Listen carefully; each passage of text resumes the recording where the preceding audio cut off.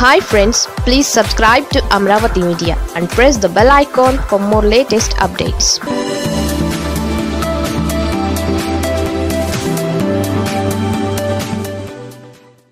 Bojjala దెబ్బకు చంద్రబాబు బెంబేలు.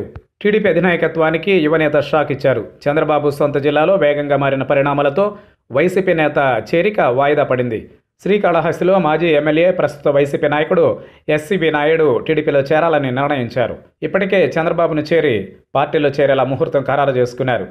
చివరి నిమిషంలో నియోజకవర్గంలో సీన్ మారిపోయింది. నాయుడు చేరికను శ్రీకాళహస్తి టీడీపీ ఇన్ఛార్జ్ బొజ్జల సుధీర్ రెడ్డి వ్యతిరేకిస్తున్నారు. ఆయన ఆడియో వైరల్ అవుతోంది. శ్రీకాళహస్తి టీడీపీలో కలకలం మొదలైంది. నియోజకవర్గంలో కాంగ్రెస్ నుంచి గతంలో ఎమ్మెల్యేగా గెలిచి వైసీపీలో కొనసాగుతున్న ఎస్సీబీ నాయుడు టీడీపీలో చేరేందుకు రంగం సిద్ధమైంది.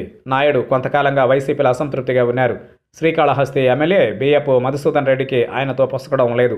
నాయుడు టీడీపీలో చేరడంతో శ్రీకాళహస్తితో పాటుగా సత్యవేడలో ప్రభావం చూపుతారని పార్టీ నేతలు అంచనా వేశారు. నాయుడు చేరిక సమయంలో శ్రీకాళహస్తి టీడీపీ ఇన్ఛార్జ్ బొజ్జల సుధీర్ రెడ్డి ఆగ్రహం వ్యక్తం చేశారు. నియోజకవర్గ టీడీపీ నేతలకు ఒక ఆడియో సందేశం విడుదల చేశారు. దీంతో పార్టీ వెనకడుగు వేసింది. నాయుడు చేరికను తాత్కాలికంగా వాయిదా వేసింది. బొజ్జల సుధీర్ రెడ్డి విడుదల చేసిన ఆడియోలో అమరావతిలో ఎస్సీబీ నాయుడు టీడీపీలో చేరుతున్నారని సమాచారం వచ్చిందని ఒక ఇన్ఛార్జిగా నాకు కూడా ఆయన చేరిక విషయం అధికారికంగా తెలియదని చెప్పుకొచ్చారు. ఎవరూ తనతో మాట్లాడలేదని పేర్కొన్నారు. బూత్ స్థాయి మొదలుకొని టీడీపీ మండల అధ్యక్షులు ఇతర నాయకులు ఎవరూ అమరావతికి వెళ్ళొద్దని ఆదేశించారు.